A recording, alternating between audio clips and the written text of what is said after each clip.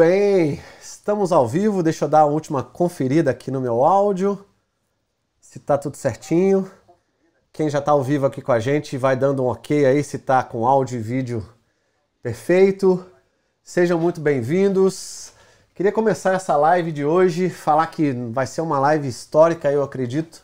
Inclusive, é, a gente vai falar de muitos temas bastante interessantes aqui uh, ah, para o mundo aí do mercado da construção como um todo, né? A gente falando nos bastidores, quando eu fiz o convite para o meu amigo Clorivaldo aqui, a gente falou de possibilidades de temas e a gente cheg... nós chegamos aí à conclusão de um tema que eu acho que vai ser agregador, inclusive, aos temas que eu trouxe, né? Tanto dos podcasts que eu fiz aí com algumas pessoas, quanto das outras lives que eu estou agendando aí para frente. Então vamos lá, pessoal. Como é que funcionam as, as nossas lives aqui?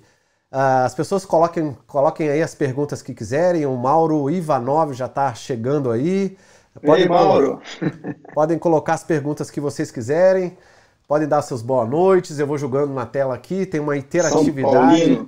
É, tem muita interatividade aqui. Agora a gente já está com aprendendo algumas tecnologias novas para fazer essas lives mais com né, um, uma cara um pouco mais profissional de áudio e de vídeo, né? Então, vamos lá. Clorivaldo, primeiro eu queria iniciar essa live te agradecendo aí do fundo do coração, desde lá da época da Andrade, né, quando você ainda estava nativa, é, dava sempre forças aí pra gente, para mim pessoalmente, para minha empresa, para o IOPEX, né, estava sempre de portas abertas aí pra gente fazer lá uma parceria em alguns projetos onde a gente teve a possibilidade de atuar em conjunto. Então, Queria te dar boas-vindas, agradecer a tua, a tua presença e a tua disponibilidade. Fala um alô aí pro pessoal e a gente já embarca direto aí pro nosso bate-papo.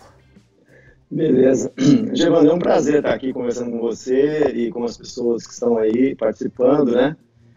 É, eu gosto, acho importante a gente estar em contato com todo mundo e obrigado aí pelo convite. E nessa quarentena, né? É até uma é até muito bom, né? Tá fazendo algo interagir aí, com outras pessoas falar né de, de coisas aí do, e tudo. do então, mundo boa noite real. a todo mundo aí espero que todos aí é, interajam bastante não quero ficar falando muito não é só as perguntas aí vou tentar é, ver se a gente responde as perguntas e tudo né? legal show de bola aí. o tema o tema da nossa da nossa live de hoje é o papel do CEO ou não só do CEO a gente né tem que encontrar uma forma numa frase de, de colocar um título legal ali mas é o papel da liderança, né? Como um todo, tem empresa que tem dono, né, tanto para as médias, as pequenas agora que o Lean, graças a Deus, depois de 10 anos aqui no Brasil batalhando, está chegando nas médias e nas pequenas com bastante força, né? Não é mais um algo a ser pensado apenas pelas grandes, embora as grandes tenham mais estrutura, budget uma série de coisas para puxar projetos de Lean Construction ou de excelência operacional, enfim.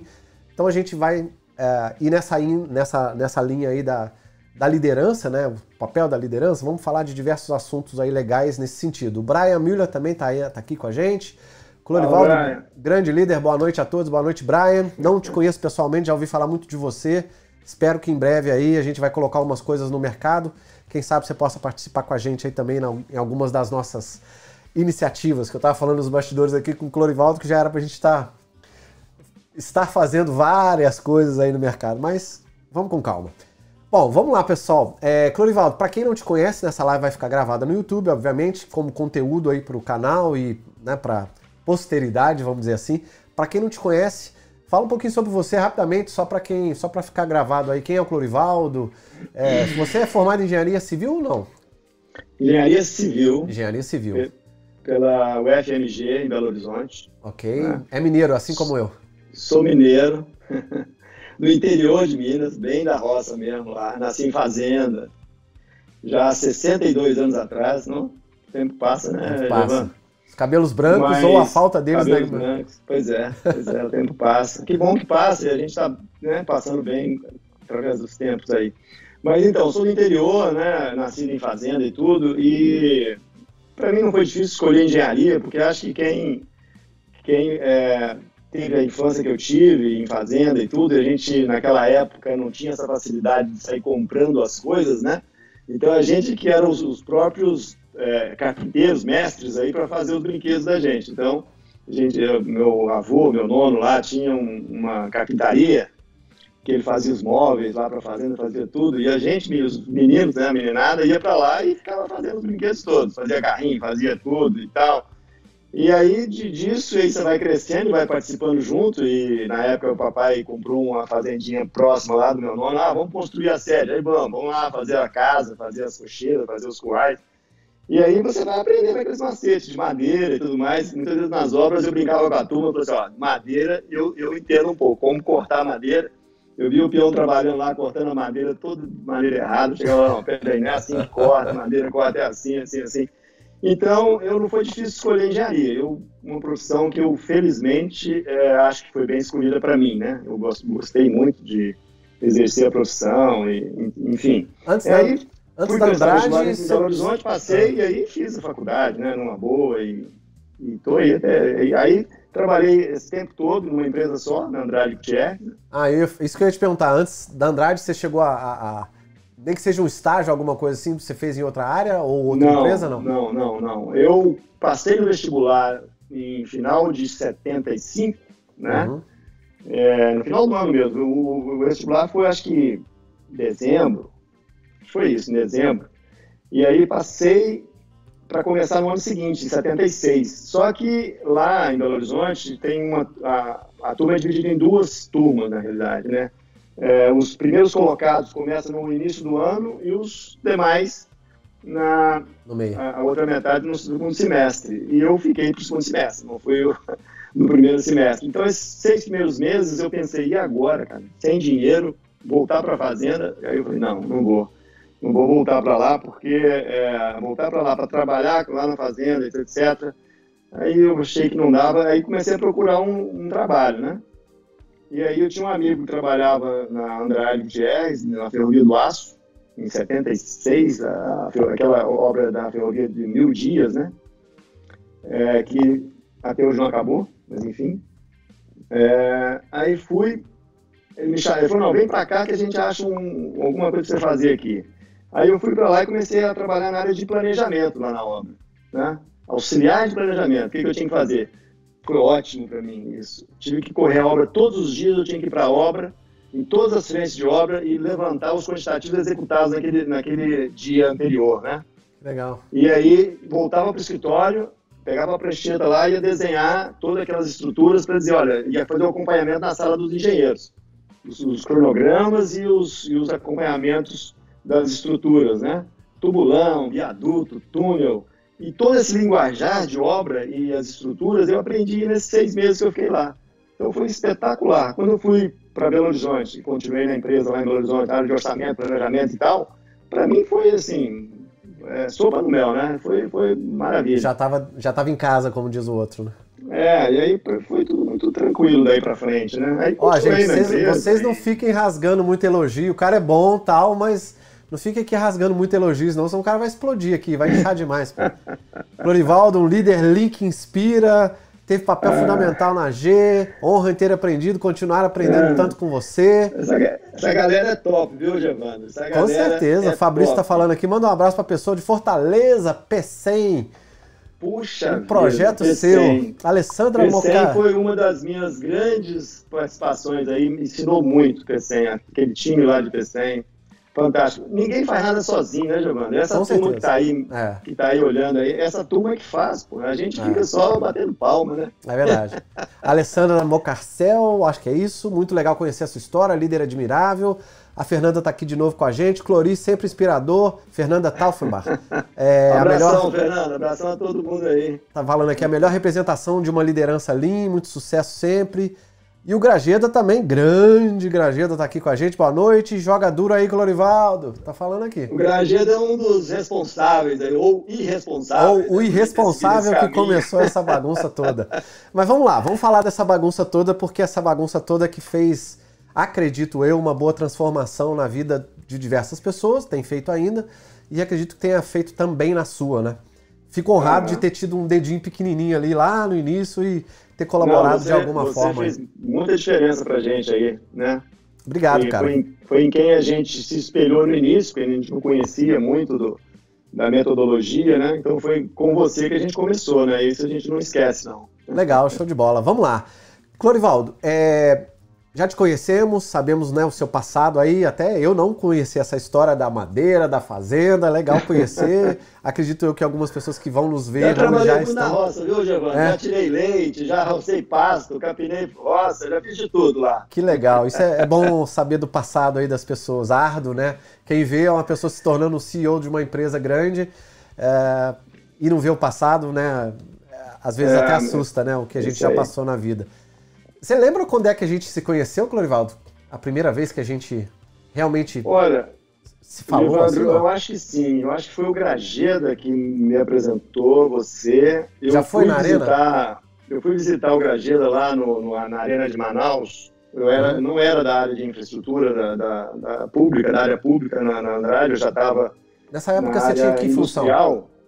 Mas eu fui visitar o Grajeda lá, e aí, como eu já, meu passado na Andrade sempre foi muito voltado para a área de engenharia, eu gostava muito dessa questão de desenvolver processos, e a gente tinha participado também, também na década de 90 de um programa G2000, onde era, a, a gente eh, desenvolveu muito aquele GQT, qualidade total, com os japoneses e tudo, né? Não foi para frente, depois a gente pode falar um pouco mais, não foi porque ficou setorizado numa área só, não, não abrangeu a empresa inteira. Então acabou morrendo esse programa mas desde essa época que eu gostava de desenvolver essa questão da excelência e tal. E aí quando eu fui visitar o Grajeda e vi o, que, o, o belo trabalho que ele estava fazendo lá, e aí eu falei, puxa, nós temos que voltar a fazer isso aqui e tal. Daí voltei para a industrial e comecei a implantar aquilo que eu, que eu tinha visto com você e com ele lá na arena, comecei a implantar nas outras obras, nas obras da área industrial, de óleo e gás, né? Então eu acho que eu te conheci lá na arena de, de, de Manaus, se não me engano. Inclusive tem uma foto minha com você, acho que eu já te mostrei ela, a gente, lá na obra de Salvador. É, na Aroba, sim, aí eu levei contrato lá, pra, lá. Pra aquele GNL lá Isso, Bahia, do GNL, né? nós estávamos com, com um colete salva-vidas, capacete Isso. e tal. A gente né, fomos pro mar lá para acompanhar lá, um pedaço lá, da obra. Mas a liderança daquele projeto era da Carioca Engenharia, é. então a gente ficou um pouco atrás do processo, com mais dificuldade de implementar, né? Porque essa questão cultural, ela pesa muito. Eles queriam implementar, mas não tinha a cultura que a gente já Ainda, tinha um é. pouco mais, né? É, naquela então, época, sim. Mas fizemos lá também um trabalho legal. Legal. É... Andrade iniciou lá, como a gente sabe, é... essa iniciativa do Lean lá em 2010 na Arena, como você mesmo falou, e depois a coisa começou a, a a tomar um rumo assim, né? Fala pra gente como é que foi desde que você, porque na época você estava numa uma posição de liderança, não lembro qual era, mas de uma outra área, né? Até você falou, né? A gente já começou já a pegar algumas coisas, levar para a área industrial, de óleo e gás e tal. Quando você atingiu aí um posto um pouco mais elevado, né? Talvez não de CEO ainda, mas né, a gente vai crescendo na empresa. É, quais foram os primeiros passos que você começou a dar lá no sentido de falar, cara, eu acredito que esse, esse negócio aqui, esse tal de Lean Construction funciona e é isso que tem todo o, o, a gente tem com, né, usando aí metodologias, princípios, mudando as pessoas, liderando bons projetos de, de fazer um turnaround na empresa de uma maneira pesada aí. Quando é que foi pois isso? Pois é, como é que aconteceu isso? É, eu fui, não sei se foi 2010, 2011 ou 2012, por aí, que eu fui lá na arena, mas logo em seguida eu trouxe esses, essa, essa, essa Julim para a área industrial. E aí eu te chamei para a gente começar em algumas obras na área industrial. Sim. E logo em seguida, em 2013, eu fui convidado para assumir o, a diretoria de todas as obras do Brasil e América Latina. Uhum. Né? Então, aí eu falei, aí pensei, está no momento a gente dar uma amplitude maior nesse programa. E aí comecei, a gente sempre, eu sempre fiz isso muito é, com, com a equipe como um todo, né? O, o Gradida sempre foi um sponsor disso, assim, entre aspas, dessa implementação toda, né? E junto com outros gerentes de contrato, e fui, agregando pessoas que gostavam do tema para a gente construindo uma visão maior, porque não dava para fazer Lean é, pequeno em cada obra e tal. Eu percebi, aí que eu estava te falando, comecei a perceber que isso era mais uma filosofia do que, um, do que uma ferramenta. Sim, claro. Porque impacta muito no estilo de liderança. Se você não, não, não estiver preparado para fazer isso, né, em relação a ser um líder lean, você, você vai ficar fazendo coisas pequenas, né? Você não vai conseguir ampliar essa visão. Então eu comecei a perceber isso. Então eu, como um diretor de todas as obras do Brasil e América Latina, eu comecei a, junto com esse time, com esse piloto, com esse, com, com esse grupo, ainda era pequeno, mas era um grupo é, focado, que gostava de fazer isso, nós começamos a desenvolver, desenvolver junto com os consultores, você era um deles, nós começamos a desenvolver isso de uma forma mais orgânica, né? De maneira que as pessoas participassem e elas criassem também. Começamos a estudar muito sobre, sobre Lean, né? É, começamos a olhar livros, estudava em conjunto, fazíamos um, umas, umas, é, umas leituras é, semanais. Aliás, era, era uma vez, é, cada semana a gente lia um capítulo de um livro e discutia sobre aquilo, criando uma cultura, porque Sim. Eu, eu percebi junto, a gente discutindo, nós percebemos que se nós não tivéssemos uma cultura, é. a gente não ia permanecer no tempo, nós iríamos aquele voo de galinha. Você faz numa área, num setor, numa obra, você sai dali e aquilo acaba. Então eu, a gente pensava assim, olha, vamos construir uma cultura de excelência para que a gente não precisa ficar fiscalizando, que as pessoas passem a fazer aquilo normalmente, igual você entra no carro e coloca o cinto de segurança. No início a gente esquecia de colocar o cinto, entra no carro, esquece tal, de repente. Hoje, eu pelo menos comigo, eu entro, eu nem vejo a hora que eu coloco o cinto de segurança, né? Sim. Porque aquilo virou, virou um reflexo. E a gente pensava que isso também deveria acontecer com a cultura Lean, com essa filosofia. Tinha que vir no reflexo. A forma de você é, é, é acompanhar um trabalho, você perguntar sobre a, a evolução do trabalho, né? E você é, treinar as pessoas e considerar as pessoas num patamar mais elevado na organização do que um mero funcionário, né? Cada um é, é, tem o seu valor e a gente tem que elevar esse valor das pessoas. Então, isso foi uma aprendizagem, é, é aquela história de, de consertar o bonde andando. Nós aprendemos a fazer Lean, até onde nós fomos, é, fazendo mesmo, né? Sim, claro. E se espelhando nas consultorias, espelhando nos livros que a gente estava lendo. Mas eu, eu assim, admiro muito o time que nós criamos, sabe? É, as pessoas muito dedicadas, muito comprometidas. Verdade. E outra coisa, né, Evandro? É, as empresas precisam ter um propósito, precisam ter uma visão, assim. Onde é que você quer chegar? Como que você quer chegar? Então, ali, o papel do CEO, eu acho que ele entra neste momento aí, né? de criar essa visão, definir um propósito e aí você, junto com o seu time, você tocar de uma forma é, que atenda a, a, a, isso que foi criado em conjunto, né? É, é. é, é compartilhar as coisas muito mais do que mandar fazer e cobrar, sabe, Giovanni? É, é, por isso que eu disse para você, né? É uma mudança muito forte no estilo de liderança senão não perpetua. Essas coisas que você faz no chicote, você vira as costas, todo mundo Acaba. relaxa e para de fazer, sabe?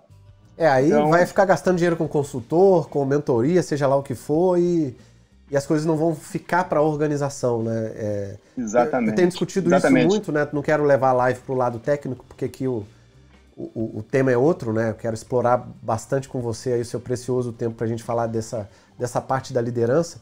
Uma coisa que que o líder, né, eu queria até a sua opinião nesse sentido, uh, a gente vê muitas iniciativas, né, e agora cada vez mais as, o Lean Construction, a excelência operacional, cada empresa aí chama de, uma, de um certo formato, né, ou sistema Toyota aplicado à construção, ou à construção enxuta, enfim, tanto faz, né, eu não tenho apego aí à nomenclatura, desde que as empresas façam acontecer e tenham resultado.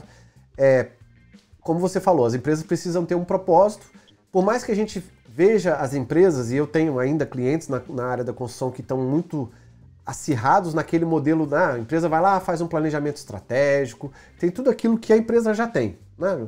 É, algo formalizado, até porque a empresa já existe há anos, né? E eu não estou falando aqui, não tem nenhum cliente construtor ou do mundo da construção novo, né, que acabou de começar. Pelo contrário, a maioria das empresas são empresas que já estão aí no mercado há muitos anos, sabem fazer obra, sabem as nuances daqueles projetos que eles estão, né, construtivamente, principalmente falando aí, e sabem né, fazer planejamento estratégico e tal. O que, que você, na sua visão de, de líder, é, de um SEO aí de uma gigantesca empresa, é, viu não só por fazer, a gente vai nessa linha daqui a pouquinho, mas eu queria explorar com você agora o que, que você viu e o que, que você acha que um CEO ou uma diretoria ali, quem está puxando, ou até mesmo um dono de uma pequena ou média empresa, né, um cara que efetivamente está puxando ali a, a, a, organização, como é que ele deve agir e pensar para que aquele planejamento estratégico vá em direção aos projetos de Lean, as pessoas também vão em direção ao projeto de Lean, porque senão ele vai voltar sempre para aquele. Pro, pro, é, como é que eu o voo, o voo mais rasante, que é o voo de ir para a metodologia, a ferramenta, que não é o que a gente fala mais hoje em dia, né? Quando a gente copiava o Lean da indústria lá 10, 15 anos atrás, tudo bem, agora a gente já aprendeu e, e é isso que eu quero explorar com, explorar com você aqui. O que, que você acha desse, Ô, Evandro, é, tem algumas coisas que, que muda bastante, né? É, quando você começa a fazer uma mudança cultural, uma mudança, uma filosofia dessa, né, magnitude de, de Lean, parece pouco, mas não é. A mudança é muito forte culturalmente. Então, é, esse CEO, esse dono de empresa, eu acho que ele tem que começar a, a pensar se ele está disposto a, a, a colher resultados no médio e longo prazo. Porque você não, não muda uma cultura e obtém um resultado no mês seguinte. Você não vai mudando e vai querer o resultado no mês seguinte. Essa cobrança, ela não pode ser dessa forma, porque as pessoas têm que se adaptar, elas têm que aprender, né? E é, é, é uma, é uma aprendizagem que demanda tempo, porque com isso aquilo vai sedimentando na, na, na, na nas pessoas. Então, primeiro, eu acho que esse homem precisa gostar muito. Eu vou, vou te dar uma, um, uma referência de que, do que um cara me falou, não sei se você já leu o livro dele, do Michael Ballet, é um francês que tem alguns livros escritos sobre linha, um cara uhum. que dá palestra, etc. Sim, sim. Em 2015 ou 2014, 13, por aí, nessa, acho que 2014, em São Paulo, é, eu fui ver uma palestra dele e depois, na hora do almoço, a gente sentou juntos para conversar. E aí eu contei para ele qual era a história, a minha história na empresa, a história da empresa, o que, que a gente estava querendo fazer né, essa cultura lean e tudo mais. E aí ele falou assim, olha, é, isso dá muito trabalho, mas muito trabalho. É, e o responsável do sucesso ou não de uma implementação de uma cultura dessa é você. Ele montou o dedo na minha cara assim, é você. Porque você é o, hoje o, o diretor-geral, na época não era ainda CEO, você é o diretor de todas essas obras e tal, então você é o responsável. Se você tiver muito estou afim de fazer isso. Se você tiver no seu, no seu coração isso, você vai conseguir fazer. Se não tiver, não comece. É, é, é besteira você insistir, porque isso dá muito trabalho e você tem que estar tá, é, vivenciando isso diuturnamente na sua empresa. Quer dizer, a mudança é cultural da sua empresa. Então eu falei, não, então é comigo mesmo, eu gosto, eu quero, né? o meu time quer, nós, nós temos já um grupo que quer, então é meio por aí, quer dizer, essa comprou a briga e é vamos lá. Ou o dono, ele tem que ele estar tá imbuído disso, colocar no planejamento estratégico dele, no propósito dele já tem que ter uma mudança cultural, tem que valorizar as pessoas, tem que querer uma empresa de, de aprendizagem, montar uma, uma empresa onde todo mundo aprende todo dia, onde o erro faz parte do processo de aprendizagem. Então, aquela empresa que se continuar fazendo controle, comando e controle, e punindo os erros, etc., jamais será uma empresa limpa, sabe? Então, a mudança é nesse sentido, que eu, é, essa pessoa, esse líder, esse CEO, tem que estar disposto a esse tipo de mudança, né? Uma mudança de estilo de liderança. Se ele não tiver, ele tem que estar disposto a mudar. Tá. Na prática, assim, para a gente é, dar algum exemplo, né? Como eu disse, esse vídeo vai ficar no YouTube. É, os líderes que estão te vendo agora ou que vão te ver posteriormente com esse vídeo aí, o que, que, mudou no seu dia a dia? Na prática, eu trabalhava assim, assim, assado, eu tinha rotina assim, assim, assado. Depois que esse negócio do Lean aí chegou para mim, cara, puf, revirou minha vida. O que, que, que, mudou na prática? Como é que era o seu dia a dia como líder, né? Sua rotina, o jeito de liderar as pessoas, delegar, enfim, a, o seu formato de liderança que você tinha em especial aí. Olha, Gevandro, é, essa mudança ela é lenta, né? As coisas não mudam de uma hora para outra. Eu tomava muito puxão de orelha da minha turma mesmo, nas reuniões, né? Que às vezes fazendo reunião, aquele, a gente fica empolgado e tal, e, e você acaba usando da, daquele estilo de liderança antigo. Ah, então você faça isso, faça aquilo e tal, mas aí, peraí, mas é assim que a banda toca e tal, aí você volta, não, peraí, desculpa, vamos, vamos voltar aqui, vamos. Então, assim, é um, é um aprendizado contínuo. Passo a passo, aí, é uma é. aprendizagem mesmo. Você tem que estar, tá é aquilo que eu falei, você tem que estar disposto, errar e aprender, errar e aprender. Então, como líder, também você vai errar muito. Mas se você tiver querendo mudar, você vai mudando aos poucos também. E aí, junto com todo mundo, aí você tem um time e tal, e aí, é, se todos estão trilhando a mesma, o mesmo caminho, um, um, ajuda o outro e a gente vai, vai seguindo.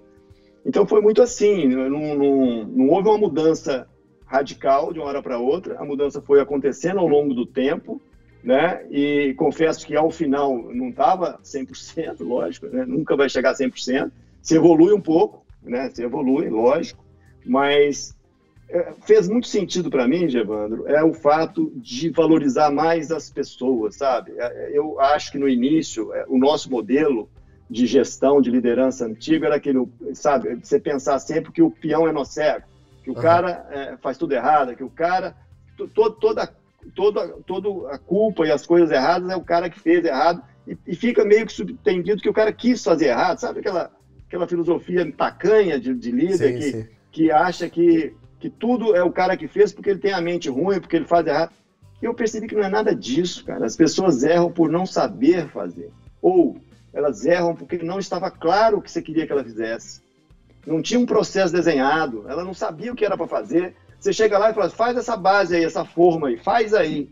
Sabe esse faz aí? Depois você volta, não está de acordo com o que você queria, fala, pô, você não sabe fazer porra nenhuma, não é assim. Sabe, esse estilo, isso, isso acabou, Gerando. Isso não pode mais ter nas organizações, né? Se Deus então, quiser. É, então, é, a gente vai aprendendo que, peraí, então senta com a sua turma primeiro, discute, faça um planejamento tal, todo mundo está entendendo o planejamento, tem as coisas todas já para ele executar, tá tudo ali à mão, etc. Quando você vai percebendo que você tem que treinar o seu cara para depois você passar o trabalho para ele, tem que estar treinado, isso muda tudo na, cabeça do líder, sabe? Então, você sai daquele líder cobrador, manda e cobra, para um cara que tem que dar apoio primeiro. Ah, você quer o trabalho? Então apoia o cara que você vai que vai fazer o trabalho antes, apoia, vê se ele está lá, se ele tem todas as condições, né? Se ele, se ele é capaz, se tem a ferramenta, está tudo lá, aí tudo bem, ele vai te entregar, tem um processo desenhado.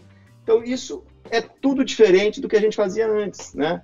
Porque famosa... antes você, você, sentava numa sala lá, os iluminados, sentava numa sala, fazia um planejamento bacana, um planejamento bacana lá dos iluminados, dos engenheiros, um, um projeto bacana, pronto. Aí passa aquilo para a segunda linha lá de, dos encarregados e tal. Terceiriza sem tudo. Né? nada. Né? E faça aí, peraí, faça aí, doutor, mas não, a, a rede escavadeira está quebrada, porque não sei o que, está assim, está assado. E aí aquele apaga incêndio, que, você não, que interminável aquele apaga incêndio. Aí, você, aí quando você vê que o erro está na liderança, você fala assim, putz, mas eu é que estou errado nessa história toda. Você tem que ter um pouco de humildade, né? Eu acho que esse líder tem que ser humilde, um pouco humilde para poder entender esses erros Sim. e aí começar a se consertar. Famosa inversão da pirâmide aí, né? Que a gente Exatamente. tanto fala, mas que na prática a gente vê pouco, né? Exatamente, Evandro. Agora, é, é, é, é, é difícil perceber essa inversão. É, é, na prática é pesado. Esse líder tem que estar tá muito disposto a, a, enxergar isso, muito disposto a fazer isso, porque é mais difícil de liderar assim, em termos, é, em termos de se envolver. Daquela outra maneira, você passa, manda fazer, dá tudo errado, quebra tudo, faz de novo, aí o cara vai aprendendo na porrada até acertar lá e você fica aqui no, tomando, sei lá, suco, cerveja no boteco e o cara lá trabalhando. É, é, é, é tudo diferente, Evandro, sabe? Então, é, eu, eu fiquei apaixonado com isso porque eu via o tanto que eu era ruim antes, em termos de liderança, e o tanto que eu poderia ser melhor dentro dessa nova filosofia de, de, de trabalho, de, de liderança. Estou exagerando um pouco os extremos, só para a turma é, entender. Claro que não era tão ruim assim, mas também não fui tão bom depois. Mas assim, mas é, é gratificante a evolução né, que a gente as tem, pessoas, obviamente. quando você vê as pessoas dando feedback para você de como é melhor trabalhar dentro de um ambiente de, de colaboração, sabe? Onde as pessoas se identificam Ah, então eu tenho um papel bem definido nesse time. Ah, eu faço isso, ele tem um papel definido, ele é valorizado por aquilo, ele é reconhecido, né? Então, é muito amplo isso. Então, quando fala-se de Lean, muitas vezes eu vejo as pessoas falarem de Lean e 5S e tal, e fazer um, um workshop de produtividade na ponta. Isso também é, mas isso só vai ser é, é, é, dar resultado efetivo se tiver uma cultura que suporte tudo isso por trás. Se o engenheiro, quando for lá na frente de trabalho, é, olhar o que está tá acontecendo, se ele entender o que é um workshop desse, se ele souber fazer as perguntas certas lá para a turma, é, do que está acontecendo, sabe? É, é, fantástico. Olha, é, é, eu tive assim momentos lá na, na, empresa de ir em obras nossas aí, quase todas, sempre, né? Assim, de ver encarregados trabalhando de uma forma tão diferente, é, engenheiros trabalhando de uma forma diferente, que é muito gratificante, entendeu? É muito bom. E, e, o mercado muda, né? A gente muda como profissional porque a gente leva melhorias, obviamente, seja técnica, seja de metodologia, uma ferramenta, um equipamento. A gente quer tanta inovação, tanta melhoria que o nosso mercado, a gente, nós melhoramos como profissionais, né? Obviamente, e o nosso mercado muda. Deixa eu já emendar aqui uma pergunta que o Marco França fez aqui que é, Ô, França. Já está próxima Beleza, da pergunta que eu ia te fazer, por isso que eu segurei a pergunta dele um pouquinho. Tá Diante... lá na República Dominicana, eu acho. Ah, é? Diante disso, é... talvez não, não diretamente qual foi o seu maior desafio, mas assim, o que, que você acha que é um maior desafio de um líder durante essa jornada né, de, de, de levar essa filosofia de gestão para uma, uma organização? O maior desafio, você já meio que respondeu, mas é, é, o que, que você acha que que dói mais, né? Que dá mais trabalho, que para você foi realmente é, é, mais desafiador? Ô, ô Gevandro, é, o mais desafiador é você colocar todo o seu time da empresa nesse diapasão de cultural, né? Então, no caso nosso, é, é, lá da, Andrade, né, a gente tinha várias áreas, várias obras, várias, tinha área comercial e tudo. E isso a gente foi num crescente onde no final a gente abrangeu toda a empresa, 100% da empresa estava dentro de processos bem definidos, de, é, de, de planejamentos estratégicos e tudo mais. Então, o que foi mais difícil foi juntar essas áreas, né? Porque demora, né? parece né? que o Lean parece que o Lean é só para produção, só para a é. área de, de, de obra e não é. Então, a gente, a gente viu, num primeiro momento, que se o RH, por exemplo, RH, se ele não tivesse alinhado com essa filosofia, com essa cultura, nada ia funcionar. Com Porque certeza. como é que você valoriza o profissional que está desempenhando esse, esse papel aí de, de, trabalhar dentro de processos e tudo mais? Como é que você valoriza? Como é que você faz a premiação, é, reconhece e etc. Quando você, você olha e fala assim, peraí, então o RH está todo fora do contexto, então a gente tem que mudar o RH. Aí você muda o RH, Aí, peraí, e a engenharia? Como é que tá? A engenharia de, de propostas e tudo mais para chegar na execução. Então tem que ter um alinhamento desde. Ah, bom, então ajustou a proposta, mas e antes da proposta, área comercial? Aí, sabe? Então, quando você olha, tudo é um fio que você vai puxando e você chega lá no cliente. Quer dizer, não é que você chega. O cliente, na realidade, ele tem que estar no centro, né? Ele está no centro de tudo, mas assim, você puxa esse, esse fio, você começa a interferir lá no cliente. Então, a abordagem com o cliente tem que ser diferente, tudo dentro dessa nova filosofia. Então, o que, que é o mais difícil? Você ter essa visão holística, essa visão do todo, para você colocar a sua empresa 100% dentro dela, dentro dessa filosofia, né? E eu acho que o caminho é você ir construindo isso de dentro para fora, né? É você ir crescendo internamente, criando força, para você ir, então, é, buscando mais apoio, mais apoio, mais apoio, até você chegar, então, a, a, a, a trabalhar com o cliente para que ele também seja lean, para que as coisas para o cliente melhorem também, né? os Sim. resultados do cliente passem a melhorar. Então, quando você consegue fazer o, os resultados do cliente melhorar em cima do que você está fazendo, aí eu acho que é show de bola. Aí é um ganha-ganha que não tem fim, tá certo? Show de bola. O Júlio até está perguntando aqui se você Uh, olhando aí a sua contribuição né, de, de, como líder da Andrade, qual foi a, a principal contribuição? Você já meio que respondeu, mas se na sua opinião foi mais uma transformação técnica ou mais uma transformação cultural? Ah, eu diria que 90%, 80% é cultural, viu, Giovanni? Tecnicamente, a, a, o que você faz tecnicamente é, não muda muito a parte técnica, né, de processos técnicos. O, o, que muda muitas vezes é a cultura de como você faz aquilo. Né? Se você faz uma, uma, uma forma de um bloco X, você faz com 7 ou meia hora por metro quadrado e tal, depois você passa a fazer com 4, com 3, você não mudou muitas vezes a forma, não mudou uma, a madeira, não mudou.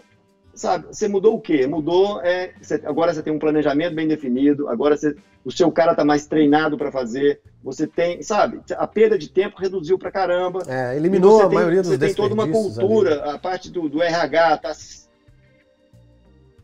tá dando mais assistência para o seu funcionário, sabe? É tudo, não dá para você dizer que é uma coisa só, entendeu? Então, assim, o ganho, ele é exponencial de todas as áreas envolvidas. Eu, eu não acredito em Lean feito só numa frente de obra, numa obra, se, se, a empresa, se a empresa não é só aquilo, se a empresa é muito mais do que aquilo, eu acho que o Lean é, é, só vai ser atingido quando a empresa for Lean.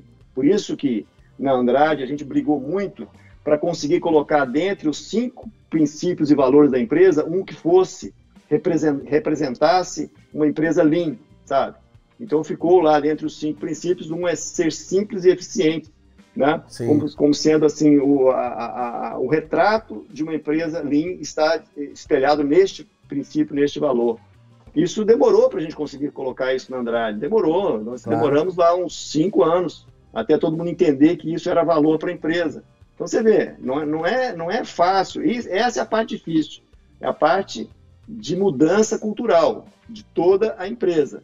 Mas, felizmente, a Andrade é uma empresa que sempre foi muito eh, inovadora na, na, na, história dela, então essa dificuldade foi muito reduzida em função disso, né? Não foi difícil trilhar isso, né? Eu acho que foi muito bom até o apoio que eu sempre tive lá, de, de, do conselho e tudo, foi, foi muito, muito legal. Então, a gente conseguiu isso por conta disso também, senão não teria conseguido, né? É, se não tem apoio de todas as instâncias, né? Tanto de baixo quanto de é. cima. Você é o cara que puxou isso aí muitos anos, a Exatamente. coisa não anda. Agora, você né? não perguntou, mas o que dá prazer é, é, é ver as pessoas nas, nas obras e tal, é, dando feedback de que é, o trabalho está sendo tá, tá, mais gostoso de trabalhar, vamos dizer assim, né?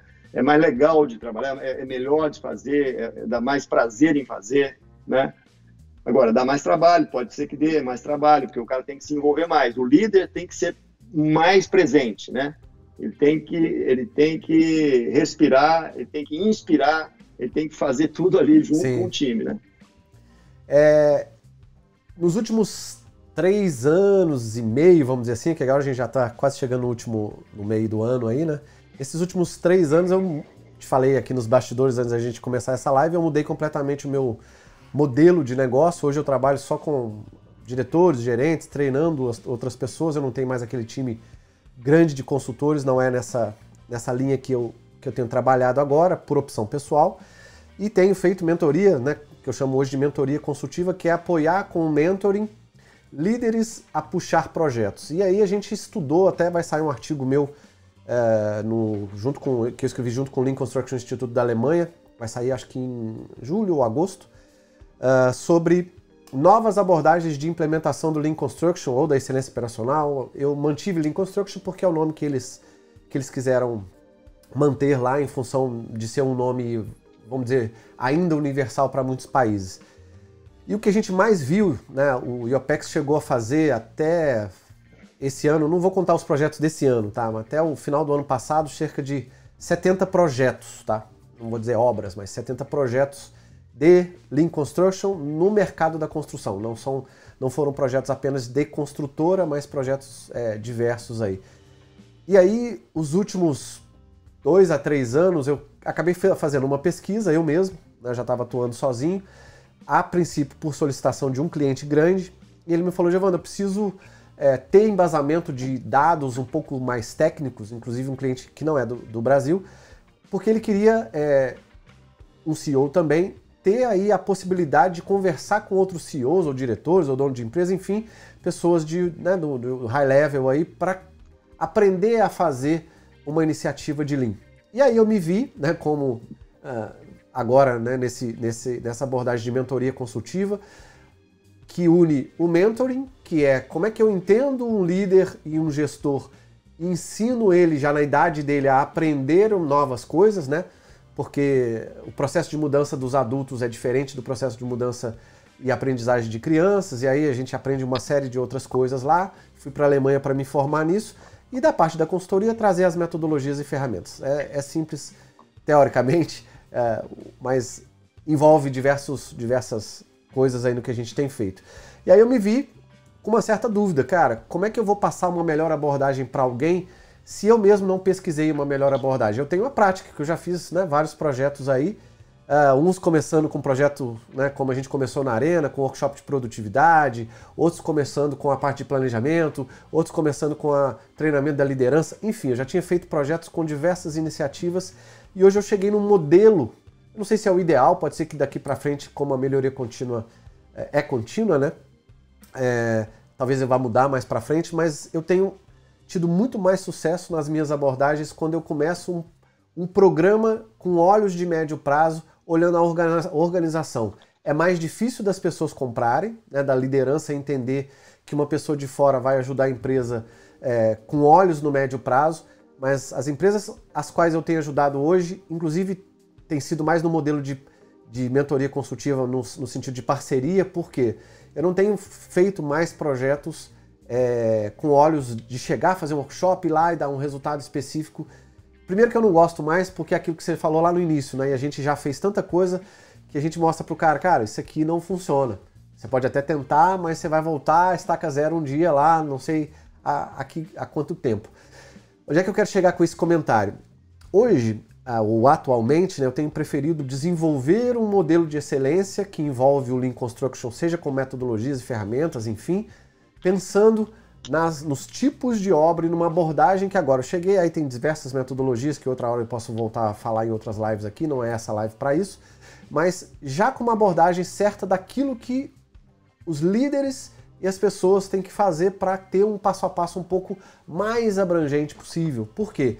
Porque se a filosofia não começa tanto com a liderança e é muito focada no resultado pequeno, vamos chamar assim, embora para uma obra possa ser grande, mas para uma organização ele é pequeno, como um workshop na área de planejamento ou de produtividade, ou para reduzir um retrabalho, ou um prazo, enfim, ou um 5S, eu não começo mais com a essência do Lean, né? naquela filosofia, vamos dizer, toyotiana, porscheana, que até eu já passei, né? logicamente que a gente evolui, de começar com a, estritamente com o que a gente chamava antes da técnica da cebola, né?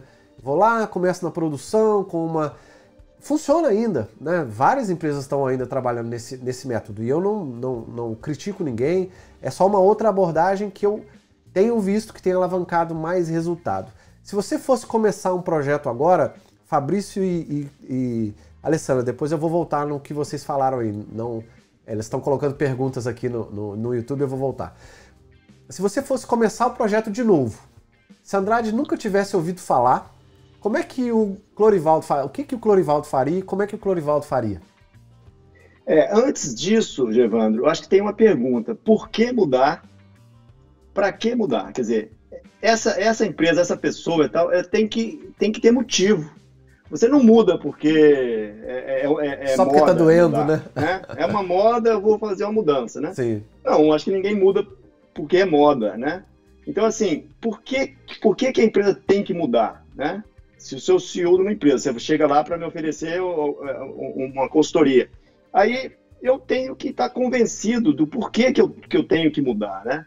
O porquê que para mim é importante mudar a, a empresa de, de, culturalmente? É mudar para excelência operacional, por quê? Mudar para Lean, por quê? Né? Faz sentido isso para a organização? É para lá que a gente quer ir? Se essa pergunta for sim, aí tudo começa. Porque se a pessoa fala, não, eu quero resolver um problema lá na ponta, tá? Que melhorar a produtividade lá, mas peraí, mas é, é só isso que você quer lá? Não, então tudo bem, pode ter até um produto para isso, mas Sim. Ele, ele não vai chegar nunca a, a, a essa excelência operacional ou uma, ser uma empresa lean. Então, eu acho que o conselho das empresas, ou o CEO, etc., tem que responder isso. Você quer por quê? Ah, porque eu quero realmente ter uma empresa de excelência, quero ter uma empresa lean, aí faz todo sentido.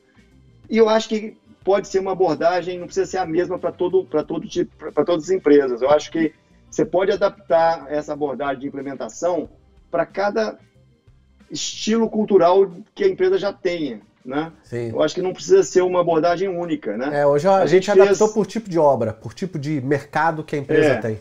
Eu, eu não sei se na Andrade, por exemplo, quando nós começamos, se teria uma outra forma de, de começar do que foi a, a nossa que nós começamos. Porque essa pergunta, se você fizesse lá para o CEO da época ou para o conselho da época, eles não iam dar a resposta que eles, queriam, que, que eles quereriam, uma empresa como a que nós fomos levando para que ela fosse Se tornasse, é, é, acontecendo ao longo do tempo. Né? Porque vivia-se num momento ainda lá atrás de, de uma abundância de, de, de, de, recursos e tal, diferente do que foi 5, 10 anos depois, que a gente Sim. já vislumbrava que o mercado estava piorando, piorando, piorando. Então, eu acho que essa pergunta vem antes do modelo a ser implantado. Depois que tiver o consenso de que a visão, o propósito da empresa é X na linha dessa linha de mudança cultural e de, de, de partindo mais para a excelência operacional e tudo, aí sim cabe um trabalho forte junto com, com essa com esse CEO, com essa empresa de, de implementar um modelo. E aí você pode, como consultor, é, é, até desenhar junto com, com esse CEO. Ah, então Sim. como é que você quer desenhar? Tem que ter liderança forte, tem que ter isso, tem que ter aqui, tarará. Como é que você quer fazer? Você, é, você vai ser o capitão desse time, você vai delegar isso para outro, mas vai estar junto, não vai estar junto. E aí você desenha um modelo, é, né? Que seria o melhor dos mundos, quando o CEO já é o, é o CEO e ele quer fazer. É né? o sponsor aí do projeto, né? Quando não é o CEO que puxa, fica mais doloroso, né? Fica mais difícil porque, ainda. Porque é, vem de baixo para cima é mais doloroso, porque você tem que lutar muito contra a corrente, né? Verdade. É, eu, então... eu, por que, que eu te fiz essa pergunta? Porque é uma das coisas que eu mais enfrento hoje em dia. Agora, no período da, da, do isolamento, menos, né? Eu tenho feito menos visitas a algumas empresas e estou com alguns projetos parados, outros continuam um pouco online, um pouco, poucas visitas, reuniões online, enfim. É, tem muita coisa acontecendo nos bastidores aí. Mas existe um trade-off que é meio complicado, né? Porque se eu não entendo, né, eu CEO, se eu não entendo e não sei para onde eu quero ir no sentido porque eu não sei o que é Lean, né? Eu também não sei se vai mesmo vindo uma pessoa querendo me explicar aquela direção, eu não sei se é aquela direção que eu quero ir. Então a gente sempre fica numa incógnita, num nível de tentar convencer que às vezes não é legal para o mercado. E nem para a gente, nem para né, a empresa em si, porque acaba não levando a nada. É, por que, que eu estou tomando essas iniciativas de trazer pessoas que já estão numa certa direção? Né? Andrade e outros clientes aí que a gente vai trazer tanto para fazer live, conteúdos no canal, agora estamos aumentando as, as, as, as, mídias sociais aí que a gente vai tratar de Lean Construction. E em breve vão ter aí pelo menos duas coisas, um grupo de implementação que eu estava te explicando, que inclusive quero que você participe aí em breve, que vão ser encontros ao vivo, quatro encontros por ano, com alguns treinamentos online, a gente vai fazer uma mescla aí. E por quê? Porque eu vejo que o Brasil, cara, se a gente não tomar uma certa iniciativa, as, as empresas que têm uma. Não só dinheiro no sentido de pagar uma, uma mentoria, uma consultoria, enfim, as empresas que são grandes têm realmente capital para isso e podem investir, inclusive buscando gente de fora, que foi o caso também que vocês fizeram. Não é, não é sobre esse tema que eu estou falando, mas da gente aqui no Brasil desenvolver coisa própria, até para a gente poder dentro da nossa cultura que é especial, que é diferente, o jeito do brasileiro, os, os, tipos de contratação, enfim, tudo que a construção tem dentro do mercado brasileiro, cada um, obviamente, na sua, no seu mercado, né, que é tão grande aí dentro da construção, sei lá, óleo e gás, industrial e, e assim por diante, né, é, predial que, que, que tem crescido cada vez mais com Lean por conta da facilidade de implementação de elementos repetitivos. É, esse problema do convencimento ainda, ainda perdura, né? E é uma coisa que, se cada vez mais houverem pessoas, né? E agradeço a você mais também, mais uma vez por isso, que coloque a cara a tapa e fale para a sociedade, fale para esse mundo da construção as coisas que já alcançaram, né? Não fique algo de apenas um consultor que todo mundo acha que está aqui para querer vender. Não estou querendo vender nada, pelo contrário. Graças a Deus a empresa já está bem, a gente está bem também. Mas a gente quer levar conhecimento para que as outras pessoas, de tudo aquilo que a gente já fez, né? Do que você passou, de toda a sua história, olha quantos anos você está envolvido nisso. Tá lá o Grageda e todas essas pessoas que estão acompanhando a gente, que vão ver a gente depois também. É o quanto de conhecimento que está aí por trás que a gente poderia, se nós juntarmos todo né, esse conhecimento, daria muito mais. seria muito mais produtivo para o mercado e para o mercado da construção, que eu digo, né? E exportaríamos, inclusive, tecnologias, que é o que a gente já está fazendo para a área de serviço, para a área de saúde. Eu tenho coisas que nasceram dentro do IOPEX de projetos em outras áreas de construção que eu já utilizo é, em outras áreas completamente diferentes, né? E depois que a gente explica, a pessoa fala: Nossa, é mesmo, na construção você faz assim, aqui no, dentro do hospital você faz assado também. Ah, é, estou com um projeto no hospital agora fazendo exatamente isso. Mas vamos lá. A Alessandra Mocratzel falou aqui: eu vivi a implementação da, do Lean Andrade em Angra 3 e achei sensacional. Você acha possível implementar Lean na administração contratual? Como é que seria? Pergunta meio direcionada, técnica, sim, mas o que, que, você acha, Clorivaldo? Só para a gente não deixar nenhuma resposta sem. nenhuma pergunta então, sem é, resposta. Na realidade, não, não, essa pergunta, né, ela é um pouco. É, eu acho que seria mais ampla, assim. O, o, o, a filosofia Lean não é para se implementar numa coisa ou noutra e tal. É, é, uma, é uma questão cultural. Desde que você foi picado por essa, por essa mosquinha aí da, da, da, da questão filosofia Lean, você vai aplicar em tudo, até na sua casa você vai aplicar, né? Você vai sempre descobrir uma forma mais inteligente de fazer as coisas e tal, né? Então, assim, aplica em 100% de tudo que você faz. Quando você tem essa visão, essa cultura Lean, você aplica em 100% de tudo que você faz, né? Porque não é uma ferramenta, é uma, é uma questão cultural. Então, se você vai fazer administração contratual, você vai você vai verificar todos as, os componentes disso, dessa administração contratual que você está fazendo, e você vai ver como é que é a melhor abordagem disso. Você vai estudar a melhor abordagem tal, nova filosofia. Envolver as pessoas certas, planejar aquilo que você está fazendo. É, sabe, é, é, toda uma abordagem aí de, de procedimentos e tal, que se aplica 100%. Né, eu diria, em tudo, em tudo se aplica 100%. Com Por certeza. isso que é, essa filosofia foi criada é, é, o Lean nasceu lá na indústria é, automobilística, etc., e se aplica na área de construção. Qual é o problema? Aplica Sim. nos hospitais, aplica, aplica em tudo. Não tem, não tem barreiras, né? Sim. Não existem barreiras, na minha visão. Na minha visão, não existem barreiras. Show de bola. O Marco até falou aqui, esse é um ponto interessante, nem todo cliente enxerga valor na excelência operacional. Clientes privados mais, clientes públicos acredito que menos, a opinião dele. O que vocês opinam? Você acha que clientes privados mais, clientes públicos menos? Como é que é a sua, a sua visão? Eu tenho uma visão, depois eu falo aí. Fala aí primeiro. Ô, Gervando, é... então, é... essa, questão de uns enxergam mais e outros enxergam menos, eu acho que é o, o quanto que essas empresas ou pessoas é, conhecem do assunto e quanto elas não conhecem do assunto, né? Então, o, o cliente público, por exemplo, que não não muitas vezes valoriza essa parte da excelência, né? É raro o cliente público que valoriza isso, né? Normalmente não entra no detalhe e tal, você faz aquela coisa mais ou menos e tá tudo bem, né? Então, o privado valoriza muito a excelência, o cliente privado. É, a menos que ele não queira resultado. Não, sei, é, não queira resultado, né? Então, aquela questão que eu falei para você antes, por que, por que entrar numa filosofia assim, por que mudar a cultura para a cultura de excelência? É uma questão de sobrevivência. Sim. Eu acho que, que é uma questão de sobrevivência, né? Você olha para o mercado aí fora, todo mundo se mexendo, todo mundo se aperfeiçoando. E você vai ficar fazendo a mesma coisa todo dia igualzinho, todo dia igualzinho. Ou você vai sempre comprar uma tecnologia nova e trazer aquela tecnologia e, sabe, eu acho que é muito pouco para você ser líder de mercado. Eu acho que quem quer ser líder de mercado e quer se desenvolver à frente da concorrência, precisa fazer algo diferente da concorrência. Verdade. Porque se a concorrência compra o produto já testado, pronto e tal, para usar, se é isso que todo mundo faz, e dentro de um estilo de liderança próprio de cada empresa, que pode funcionar bem, melhor ou pior, etc., é, e está ali, se esse é o, é, o, é o beabá de todo mundo, se você procurar fazer algo diferente disso, onde você chegue à frente, né, você vai você, você vai ter melhores resultados, você vai ganhar, você, a sua rentabilidade vai ser maior.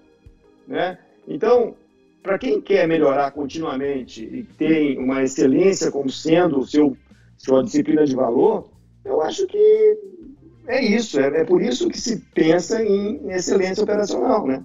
Agora, se, se a empresa está acomodada, trabalha para cliente público, ele não te cobra nada, você está ganhando dinheiro que para você está suficiente. Por isso que eu falei aquela hora. Por que, que você quer fazer isso? Se você está nesse mundo aí no, no Oceano Azul, lá daquele Oceano Azul, e não está precisando se mexer, e acha que o mundo vai durar 100 anos assim, então você fica na, fica na sua.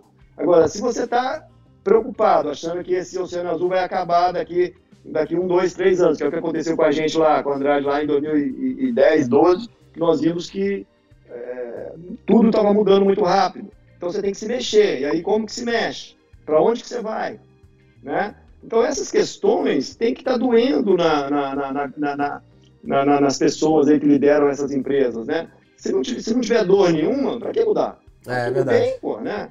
E assim, você olha para frente e vê um oceano azul maravilhoso, então você não precisa mudar. Agora, hoje eu acho que hoje não existe mais isso não, né? Para empresa nenhuma, né? É, mais difícil. Hoje e principalmente tá agora, depois dessa, dessa pandemia, né? Todo mundo vai ter que se reinventar totalmente, totalmente. Então, é, a gente, Enfim, já, fala, a, gente já se... fala, a gente já fala da pandemia. Deixa eu só complementar a sua, a sua resposta aqui para quem foi que falou.